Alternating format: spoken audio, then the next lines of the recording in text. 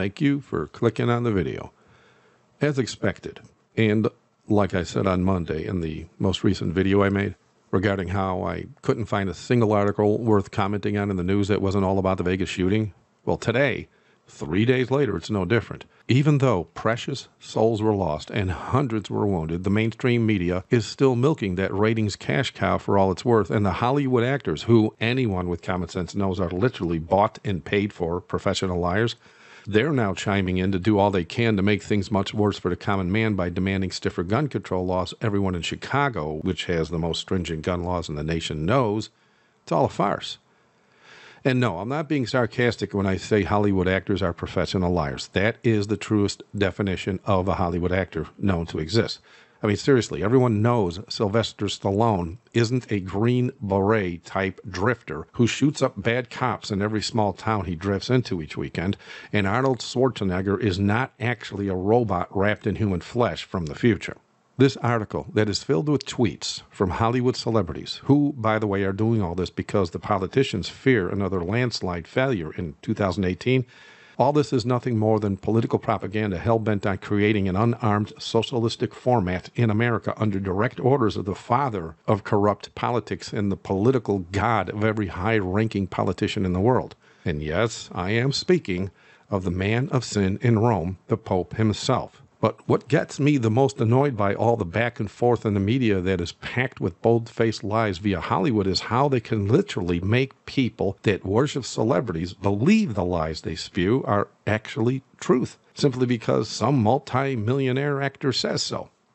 Take, for example, how the hypocrites in Hollywood make excuses when confronted by people concerned about all the gun violence in the movies and the fact they keep making the most bloodiest movies known to man. These actors claim such movies have no impact on society whatsoever. It cannot be the reason violent crimes have increased. Common sense dictates if they had no impact on society, as they claim, they wouldn't be making billions of dollars each year with these movies. For them to say that guns and violence in their movies don't influence crazed people who actually shoot and kill their neighbors is like saying porn doesn't make perverted people want to have sex with their neighbors.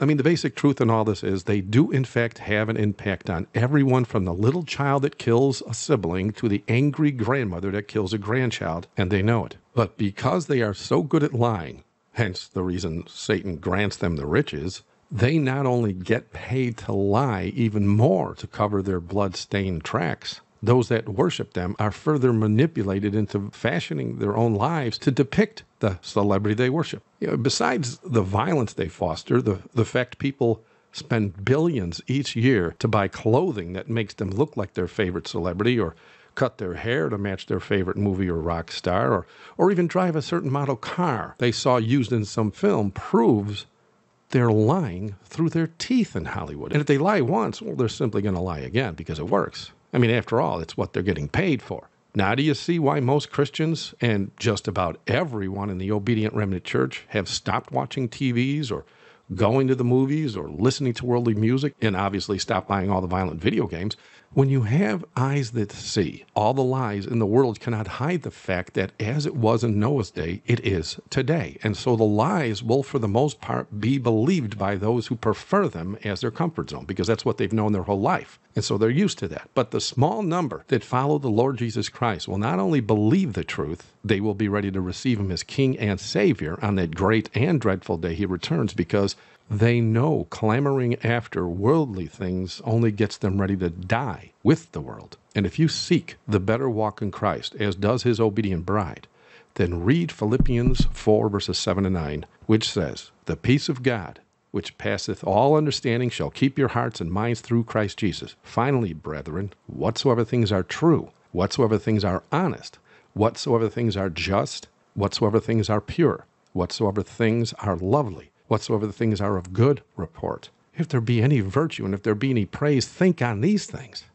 Those things which ye have both learned and received and heard and seen in me, do, and the God of peace shall be in you.